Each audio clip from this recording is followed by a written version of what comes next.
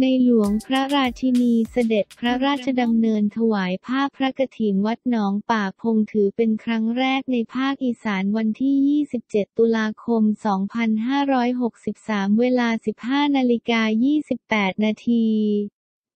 ระบาทสมเด็จพระเจ้าอยู่หัว และสมเด็จพระนางเจ้าสิริกิติ์พระบรมราชินีเสด็จพระราชดำเนินโดยรถยนต์พระที่นั่ง จากพระที่นั่งอัมพรสถานพระราชวังดุสิตไปยังท่าอากาศยานทหารดอนเมืองเพื่อประทับเครื่องบินพระที่นั่ง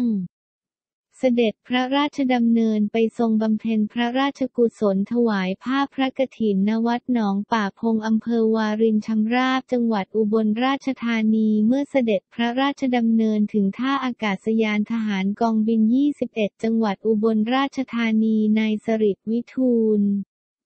ผู้ว่าราชการจังหวัดอุบลราชธานี พร้อมคณะข้าราชการเฝ้าทูลละอองธุลีพระบาทรับเสด็จพลโททเนศวงชอุ่มแม่ทัพภาคที่สองกราบบังคมทูลเชิญเสด็จขึ้นแท่น รับการถวายการเคารพพระบาทสมเด็จพระเจ้าอยู่หัว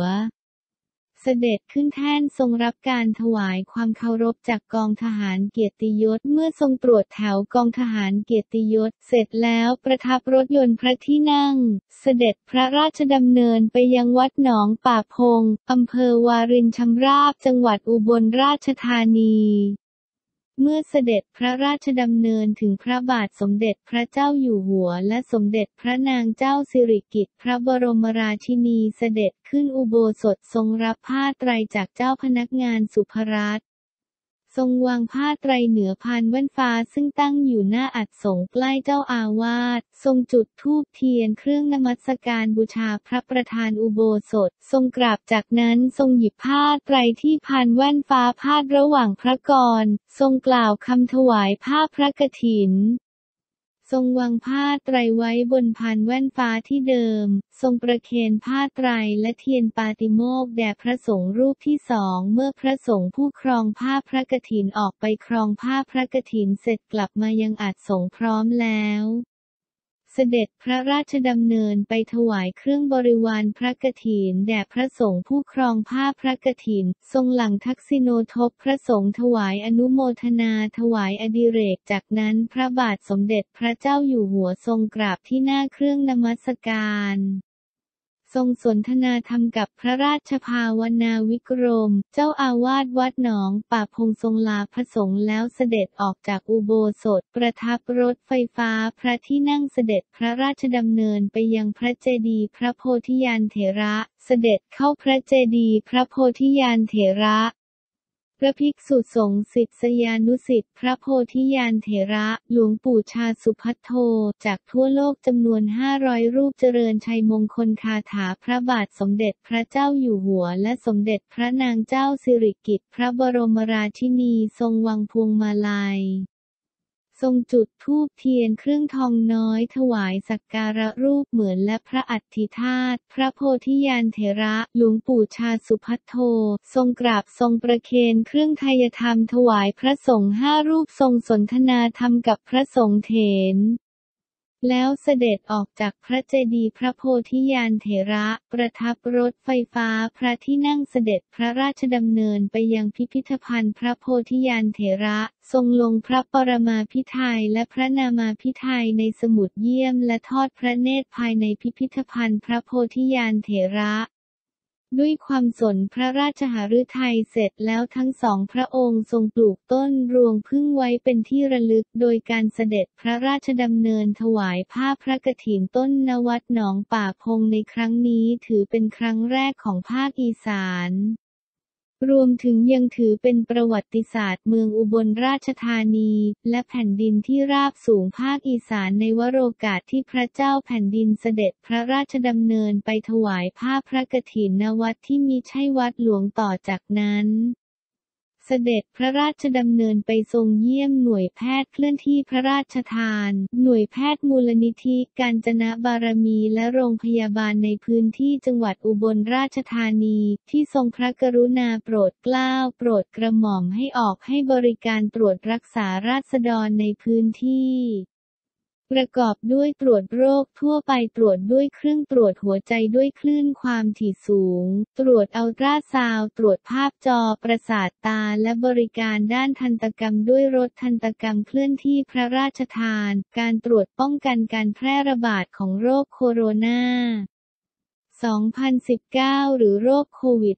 -19 ด้วยรถตรวจเชื้อชีวนิรภัยพระราชทานโดยมีราษฎรมารับการตรวจรักษาจำนวน 1,143 คน ส่วนโรคที่พบมากได้แก่โรคตาโรคกล้ามเนื้ออักเสบโรคระบบทางเดินอาหารและโรคระบบประสาท และทรงรับผู้ป่วยไว้เป็นคนไข้ในพระบรมราชานุเคราะห์จำนวนสิบคนที่ป่วยด้วยโรคเนื้องอกหลอดเลือด โรคลำไส้ใหญ่ไม่มีปมประสาทแต่กำเนิด โรคลำไส้เล็กส่วนปลายตีตั้นโรคมะเร็งและอื่นๆ ในการนี้ ทรงมีพระราชปฏิสันถานกับผู้ป่วยถึงอาการเจ็บป่วย ด้วยทรงห่วงใยพร้อมทั้งพระราชทานยาชุดพระราชทานแก่ผู้ป่วยที่ทรงรับไว้เป็นคนไข้ในพระบรมราชานุเคราะห์ด้วย เสร็จแล้วทอดพระเนตรนิทรรศการโครงการอันเนื่องมาจากพระราชดำริของพระบาทสมเด็จพระบรมชนกาธิเบศรมหาภูมิพลอดุลยเดชมหาราชบรมนาถบพิตรและโครงการอันเนื่องมาจากพระราชดำริของพระบาทสมเด็จพระเจ้าอยู่หัว ที่ทรงสืบสารรักษาและต่อยอดในภาคตะวันออกเฉียงเหนือ ซึ่งสำนักงานคณะกรรมการพิเศษเพื่อประสานงานโครงการอันเนื่องมาจากพระราชดำริสำนักงานกปร มาจัดแสดงจากนั้นทอดพระเนตรการออกร้านจำหน่ายผลิตภัณฑ์ชุมชน ซึ่งกรมการพัฒนาชุมชนกระทรวงมหาดไทยสนองพระราชดำริของสมเด็จพระนางเจ้าสิริกิติ์พระบรมราชินีนาถพระบรมราชชนนีพันปีหลวงในการส่งเสริมอาชีพแก่ราษฎร โดยการนำผลผลิตในท้องถิ่นมาแปรรูปเพื่อจำหน่ายเป็นรายได้เสริมให้กับครอบครัวอีกทางหนึ่ง และทอดพระเนตรผลิตภัณฑ์ของโครงการส่งเสริมศูนย์ศิลปาชีพบ้านสมพรรัฐอำเภอบุญทริก และโครงการส่งเสริมศูนย์ศิลปาชีพบ้านยางน้อย อำเภอเขื่องในจังหวัดอุบลราชธานี ซึ่งจำหน่ายผลิตภัณฑ์จากชุมชนและจากสมาชิกศูนย์ศิลปาชีพที่ดำเนินงานสนองพระราชสาวนีของสมเด็จพระนางเจ้าสิริกิติ์ พระบรมราชินีนาถพระบรมราชชนนีพันปีหลวงในการส่งเสริมศิลปาชีพให้กับราษฎรในพื้นที่จังหวัดอุบลราชธานีและใกล้เคียง ทั้งนี้ตลอดเส้นทางเสด็จพระราชดำเนิน มีประชาชนจำนวนมากรอเฝ้ารับเสด็จพระราชดำเนิน พร้อมเปล่งเสียงทรงพระเจริญและโบกธงขาติไทยธงพระปรมาพิไทยและธงพระนามาพิไทยตลอดเส้นทางที่ทรงพระดำเนินผ่าน พร้อมมีรายงานว่าช่วงหนึ่งทั้งสองพระองค์ได้เสด็จพระราชดำเนินเยี่ยมและมีพระราชปฏิสันถานกับพระสกนิกรทุกหมู่เหล่าอย่างใกล้ชิด เพจ Facebook SRS Princess สิริวัณนาวารีนาริรัตนราชกัญญาโพสเครื่องหมายสี่เหลี่ยมภาพถ่ายในสายพระเนตรท่ามกลางความปิติของเหล่าพระสกนิกรคนไทยทุกหมู่เหล่า ที่พร้อมใจมาร่วมเฝ้าละอองธุลีพระบาท พระบาทสมเด็จพระเจ้าอยู่หัวและ สมเด็จพระนางเจ้าสิริกิติ์พระบรมราชินีเสด็จพระราชดำเนินพร้อมด้วยสมเด็จพระเจ้าลูกเธอเจ้าฟ้าพัชรกิติยาภานเรนทิราเทพยวดีกรมหลวงราชสารินีสิริพัฒมหาวัชรราชธิดาและสมเด็จพระเจ้าลูกเธอเจ้าฟ้าสิริวัณวรี นารีรัตนราชกัญญาในโอกาสเสด็จพระราชดำเนินไปทรงเปลี่ยนเครื่องทรงถวายพระพุทธมหามณีรัตนปฏิมากรณวัดศรีรัตนศาสดารามในพระบรมมหาราชวังจากนั้นเมื่อขบวนเสด็จพระราชดำเนินมาถึงทุกคนต่างเปล่งเสียงพร้อมนำธงชาติไทย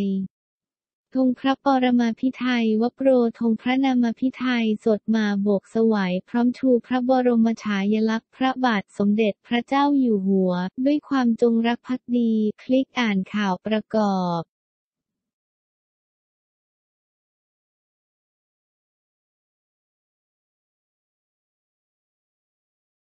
ทรงพระเจริญกึกก้อง ในหลวงพระราชินี เสด็จพระราชดำเนินวัดศรีรัตนศาสดารามผสบนิกรสุดปิติเฝ้าใกล้ชิด ล่าสุดในเพจ Facebook HRS Princess สิริวานาวารีนาริรัตนราชกัญญา โดยสมเด็จพระเจ้าลูกเธอ